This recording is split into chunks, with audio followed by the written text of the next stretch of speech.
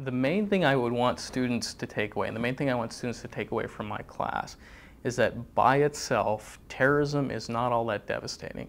9-11, if we look at a lot of data, is a huge outlier. Most of the time, uh, you know, like Mueller says, a few hundred people die per year.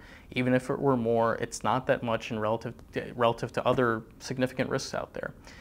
But if terrorism is elevated to that level and a government tries to enact these responses that are going to defeat the terrorist groups, that may work. And I think you know seven times out of ten it will. But if it doesn't, then it has the potential to escalate into this very, very long cycle of strikes and counter strikes and then it, you know mobilization on the part of the group versus counter mobilization on the part of the government and if it gets significant enough it reaches a level where we're looking at a civil war or an internationalized civil war. And those conflicts are incredibly, incredibly destructive and incredibly difficult to resolve.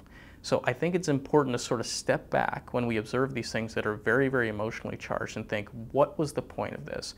Where is this going to lead us? And do we want to go there?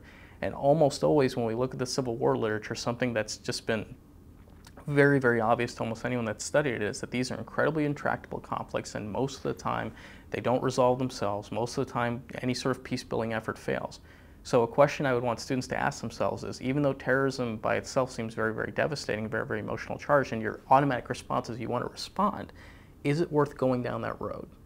That's something I would want, uh, and that's something I really emphasize in my terrorism classes. Do you really want to go down that road? If we sort of know where this road is likely to lead, do we want to take that risk?